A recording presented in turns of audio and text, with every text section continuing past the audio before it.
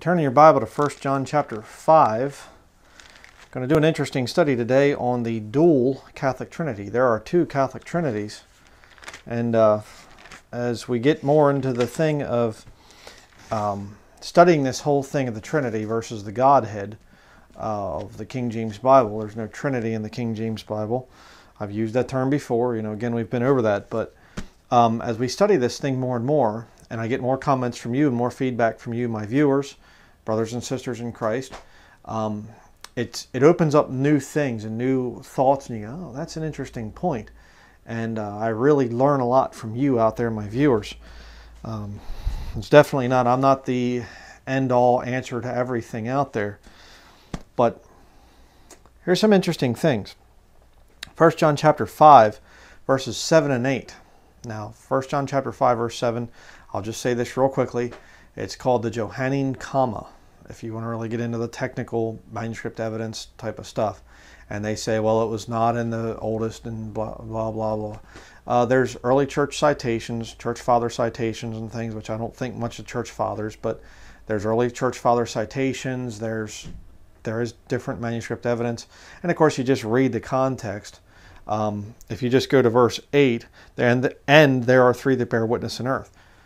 What's the end. It's a connecting to the thing before. If you leave out verse 7 there, which a lot of the new versions do, you know, it doesn't make any sense. This is he that came by uh, water and blood, even Jesus Christ, not by water only, but by water and blood, and is the Spirit that beareth witness, because the Spirit is truth.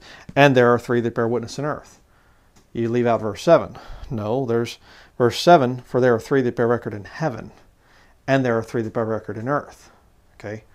But very interesting there. And there's so many levels to this whole Catholic, Roman Catholic conspiracy, if you will. Uh, it's really incredible stuff to get into. But my point is, 1 John chapter 5, verse 7, um, it is supposed to be in your King James Bible. It's supposed to be in any Bible. But just had to throw that in, in there. But let's read verses 7 and 8. And I'm going to show you here that, again, understand the concept, basic concept of Scripture. When God does something, when God does anything, Satan will always counterfeit that. Okay, you'll understand that if you study the Bible. 1 John chapter 5 verses 7 and 8. We're going to see this is describing the Godhead. All right, uh, but the Catholics will take it and they twist it, and I'm going to show you why this thing of the Trinity is so important. It is literally the very core of Roman Catholic theology. I'm going to demonstrate that today. 1 John chapter 5 verses 7 and 8. For there are three that bear record in heaven the Father, the Word, and the Holy Ghost, and these three are one. And there are three that bear witness in earth the Spirit, and the water, and the blood, and these three agree in one. Okay? Now, you say, how does this work out? I don't understand. How is this uh, proving that there are two Catholic Trinities? Well, let me show you.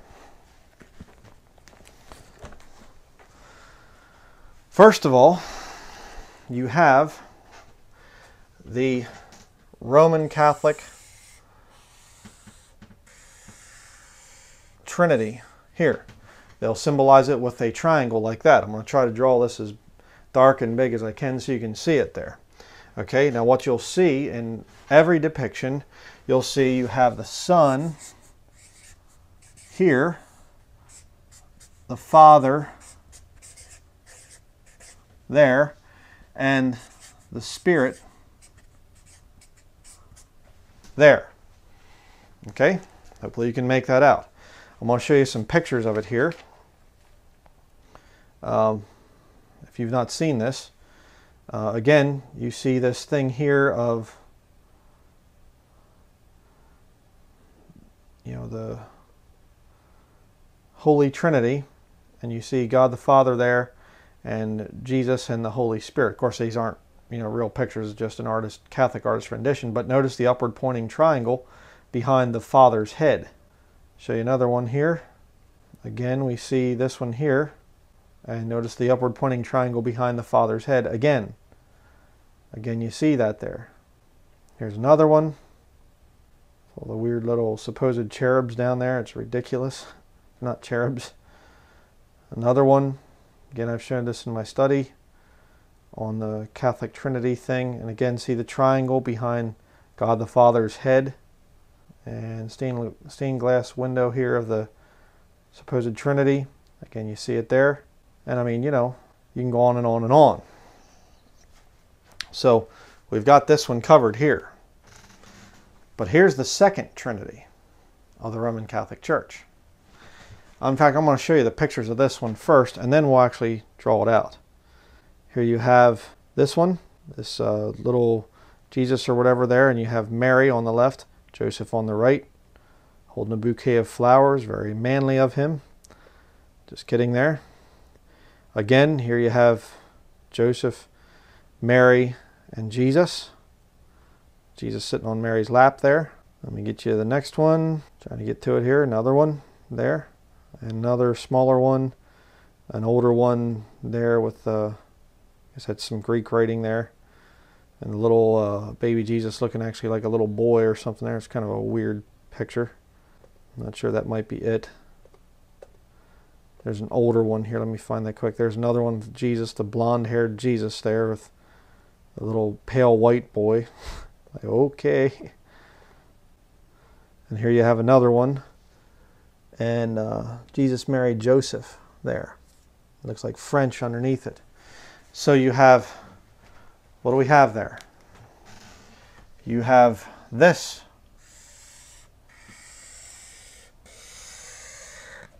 and you have, we'll say, Joseph, Mary, and all the different depictions. Sometimes Joseph and Mary are switched at the top there, but in every single one of them, they're always above Jesus. What do we have here with these two Catholic Trinities? Well, you have the one from heaven, right here, the Holy Trinity in heaven, but then you have the Holy Trinity here on earth. And what do you get when you combine the two?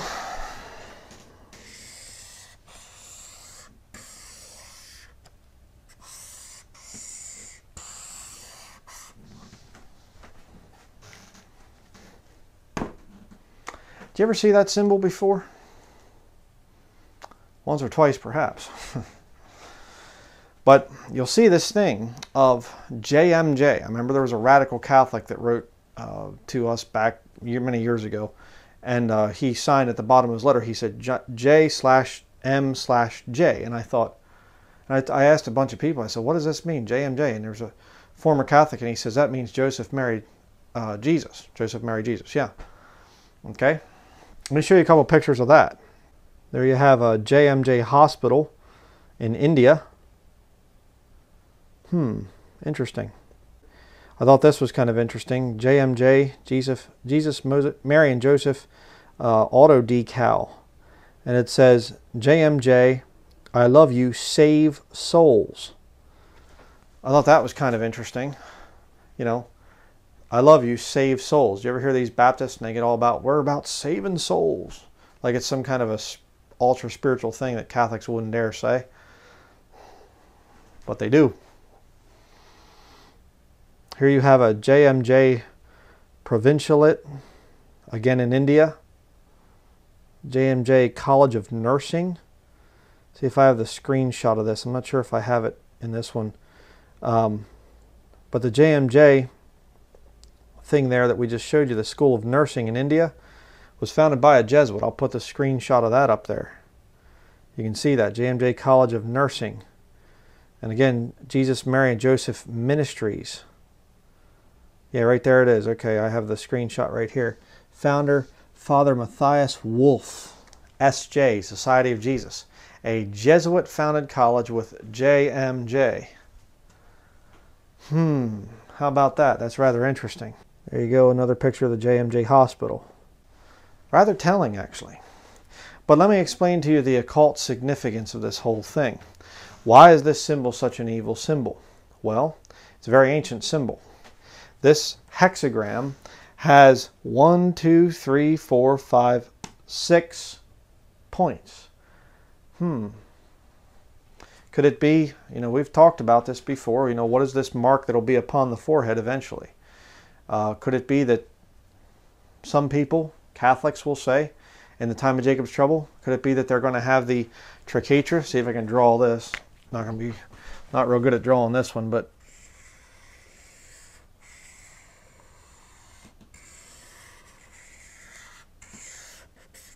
okay, kind of bad drawing of it, but could it be the Catholics will have this thing, the three-pointed star, and the Jews will have that? Kind of like what Hitler did. Again, I'll put up a picture here, the Jude, you know, the German word for Jew. Hitler was a Roman Catholic. Why was he marking them with a hexagram?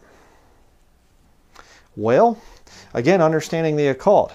The upward pointing triangle is male, the downward pointing triangle is female. You know, and I got to be a little graphic here, I'm sorry, but representing the private areas of men and women.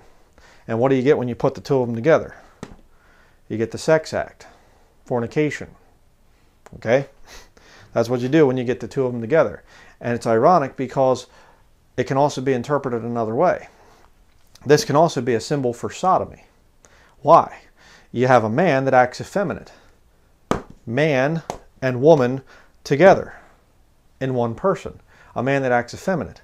A woman that acts masculine in one. A lesbian.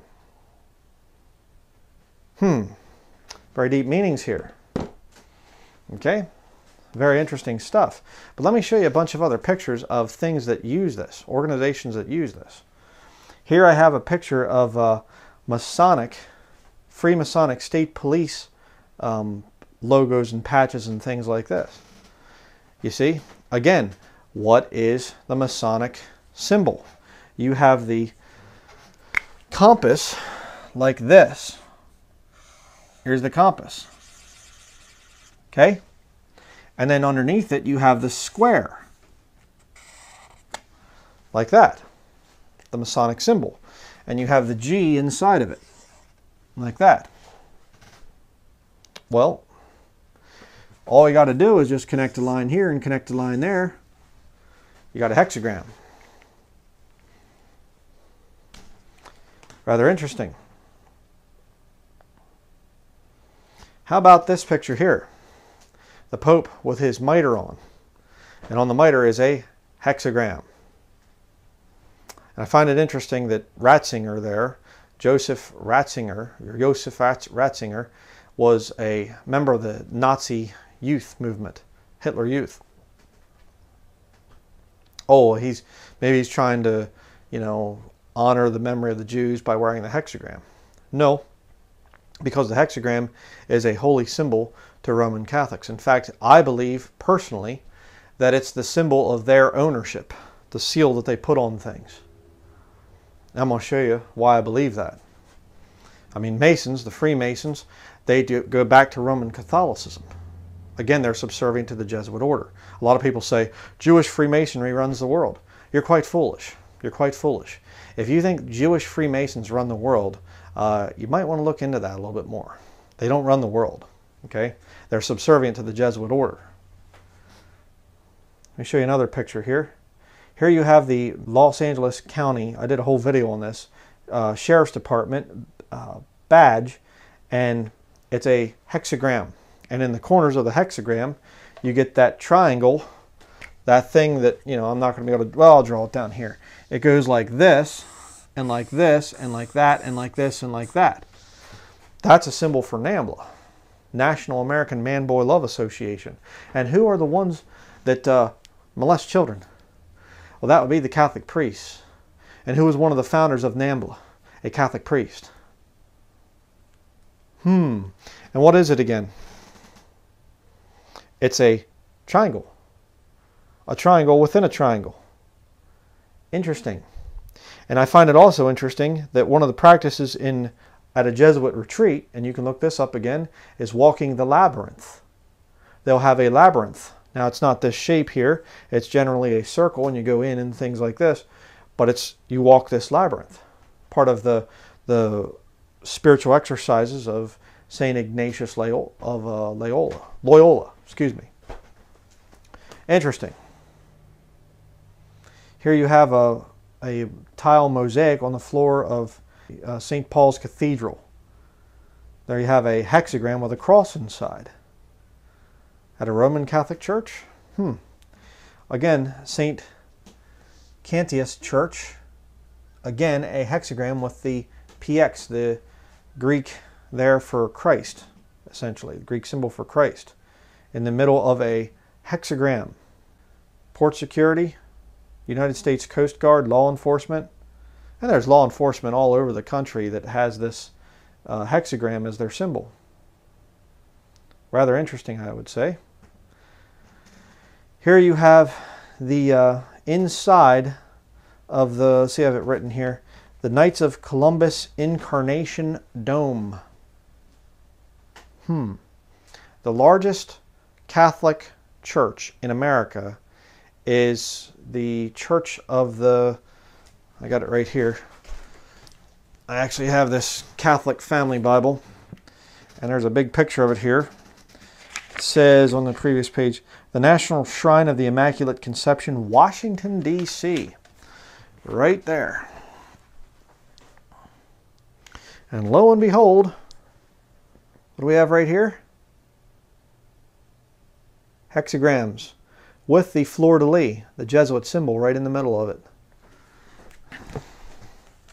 And this dome right there, that dome, is called the Knights of Columbus Incarnation Dome. And I'll show you a picture here of the inside of it. If you look up underneath it, if you go inside, look up at the thing, this is what it looks like right here. And what's in the middle? A hexagram. Hmm. How about that? Here are the uh, five hexagrams that go around the top of that dome. All right, you have one with a fleur de lis in it. You have the cedar of Lebanon, the Tower of Ivory, Star of the Sea, intertwining monograms of A and M. Hmm. Find that to be rather interesting. Here you have uh, Knights of Columbus motorcycle gang. I mean, how about that? That should make you kind of think. There's a side picture of this uh, huge big cathedral in Washington, D.C. There again is the inside.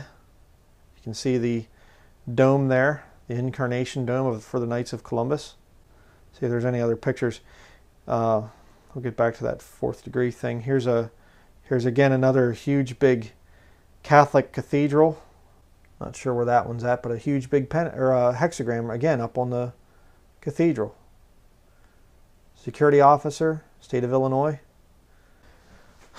Hmm. And again, let's let's just think about this symbol here for a minute. This thing right here, the hexagram. First of all, you have Catholics use it. I've demonstrated that. I've showed that it's all over the place. Okay, the Knights of the uh, Knights of Columbus Incarnation down there in Washington D.C. Big time on that. Really, really weird stuff. Hitler used it as a Roman Catholic to identify Jews, and I would say it could possibly have been kind of a dry run, so to speak, for the coming mark of the beast. Catholics could get this one, the, you know, the Christians, they get the three-pointed star showing the Trinity, but the Jews get that one. I mean, kind of makes you wonder who really owns the state of Israel or the nation of Israel. Who really controls it? Interesting. By the way, don't ever wear that thing around your neck. You can support the Jewish people, but you don't dare wear that thing. All right, that is not a symbol for the Jews. All right, um, and again, you know, I, I need to say this because you know people just they love to just hate on the Jews that are over there in Israel.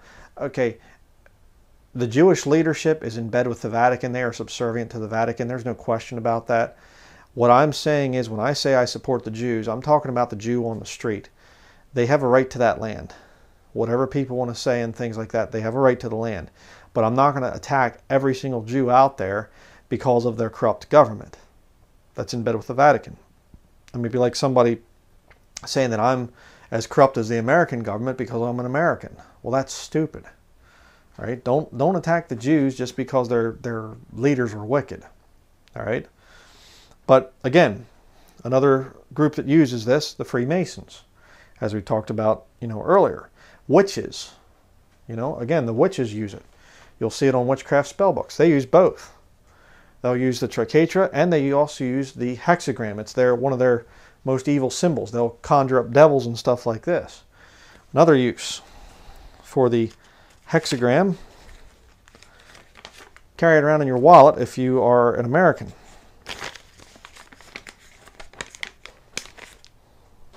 Please notice what we have here. Connect the dots. You got a hexagram with a little star on the inside. What do we have over here? An upward pointing triangle. If you connect the A and the S with the O, the new order of a secular world there, announcing the conception of a new order that's secular, without God, in other words. You connect the A, the S, and the O, you get a hexagram. Interesting. Who owns America? Kind of weird. And again, you know, we could, we were just going over this thing. My wife and I, we were driving along, and it was just like, you know, this connection and that connection, and we would tie into this and tie into that. Again, another thing in the occult is they say as above, so below. You'll see people and they'll do occult hand signals. They go like this: as above, so below. You know, in other words, the the teaching of duality and things, and and you know, Father Earth, or excuse me, Mother Earth, Father Sky. I mean, there's so many, so much paganism involved with this symbol here. The upward pointing triangle, the downward pointing triangle. You know, I mean, it'd take me hours to, to take apart this whole thing here. I mean, it's just, it's crazy. Another thing that they'll do, the Catholics will do, is they have, you know, IHS. Do you ever see that? The uh, I H S like that. You'll see that sometimes. Again, another symbol of the Jesuit order. And what you have is what? How do you break that thing down? And of course, they say you know it means uh, in uh, Jesus' salvation or something like this. Um, occult symbols have multiple meanings, as I've been demonstrating here. But let's see how this thing would break down. Okay, the again the pagan trinity, if you will. You have Mary is Isis, the female goddess.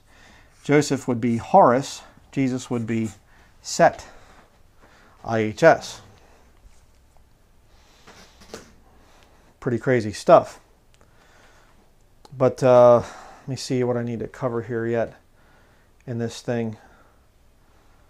Um, oh, another thing I want to say, and that is uh, this thing of well, how does it work out? You know, First John chapter five verse eight. Again, another layer of this deception here of their, you know, second part of their Trinity. How did it work out there? It says, and there are three that bear record in heaven: the uh, Father, the Word, and the Holy Ghost. That's verse seven. These three are one. Verse 8, and there are three that bear witness in earth the Spirit, and the water, and the blood. Hmm. What do you have with Catholicism? The Spirit, representing, you know, the church. The Knights of Columbus symbol is, I'll put it up here for the fourth degree. Did you ever hear somebody, boy, they really gave me the fourth degree? Hmm. But you have the dove coming down to the earth. And again, what do you have? The Spirit at the top of the Trinity symbol over here. Here you have, and there's actually one of the pictures, I can put it up again, of this earthly quote unquote Trinity. You have the Holy Spirit up above. Very interesting. The Spirit there, the Spirit that's of, you know, covering the church. The fourth degree, Knights of Columbus symbol, is a dove going down to the earth. You have a lot of the other religions out there too, like the Methodists. They have the same thing, the dove coming down. Very interesting. Um, but you would have there, so that's the spirit, the spirit there that's coming to the church. How about the water? What's that about? Well, with Catholicism, uh, baptism is what brings you into the church. The rite of baptism, it's one of the seven sacraments. It removes the stain of original sin. Well, then how do you keep getting your sins forgiven? um, by drinking blood in the form of wine And they teach that the wine is actually the blood after the priest does his magical stuff to it. Hmm. Show you another depiction of this Catholic concept. I mean, again, they they use this thing. It isn't just, you know, worked out this way, here and here. They'll use it in other means too. Let me show you another one. Here we have this uh, New American Bible, St. Joseph edition. I've showed this in other studies, but look at this. Observe another type of way that they could make this double trinity. You have St. Peter, St. Paul, and the Holy Spirit. Downward pointing triangle. Down here you have priest, bishop, and pope. Upward pointing triangle. You put the two together. You see? See how that works? Pretty weird stuff. So that's why, you know, we're going to get into some more stuff here, but that's why you get these these you know, closet Catholics that come out and they, oh, I'm a Bible believing Christian stuff. They get so upset about this whole thing of the Trinity and things. Why? Because it's the center of their whole system. It's extremely important to them. But let's uh, look at some more scriptures here. Amos chapter 5. Actually, we'll go to uh, the one in Acts. We'll go to Acts, the, the book of Acts chapter 7. I'll show you that this thing goes way back. And Catholicism is just a continuation of mystery Babylonian religions, is what it is. Acts chapter 7, verses 42 and 43. Then God turned and gave them up to worship the host of heaven. As it is written in the book of the prophets, O ye house of Israel, have ye offered to me slain beasts and sacrifices by the space of forty years in the wilderness? Yea, ye took up the tabernacle of Moloch, and the star of your god Remphan, figures which ye made to worship them, and I will carry you away beyond Babylon. So the Jews were picking up pagan symbols from Babylon, paganism from Babylon. You see it? The star of your god Remphan. Very interesting. And he's quoting back in the book of Amos. So go back to your Old Testament there. The book of Amos. Not a whole lot changes when you get to understand the Bible. Amos chapter 5, beginning in verse 25. Have ye offered unto me sacrifices and offerings in the wilderness forty years, O house of Israel? But ye have borne the tabernacle of Moloch and Chiun, your images, the star of your God, which ye made to yourselves. Therefore will I cause you to go into captivity beyond Damascus, saith the Lord, whose name is the God of hosts. By the way, stars in the Bible are often representing, you know, angels, which is kind of an interesting thing. So they are worshiping an angel with this whole symbol right here, represented by a star. Now, don't tell me, and I, you know, there's, like I said, there's so much more we go over in this in this video, but I mean, this thing is way, this is a really, really big subject. I mean, just do a uh, search for a hexagram. I mean, they're just, they're all over the place, and it's directly tied into the thing of six, six, six, six points, six, six, six. You see, and you can make it this way: a six here, a six here, a six here. You know, I mean it's just incredible, this whole thing. See if there's anything else here. I mean, we just, we were literally writing down notes and just like, man, it just ties in with this and it just ties in with that. I mean, you know, yeah, I mean, we, we have so many things here, just like we get into so much stuff, but I'm just, you know, just putting this thing out there because it's just like, you know, truth is as we get closer to the rapture and the time of Jacob's trouble and everything else that's coming in there, more and more is going to be revealed. And um, a lot of the evil that the devil has been preparing and planning and things like that, a lot of it's going to come out. And um, this thing right here is just amazing. This whole system.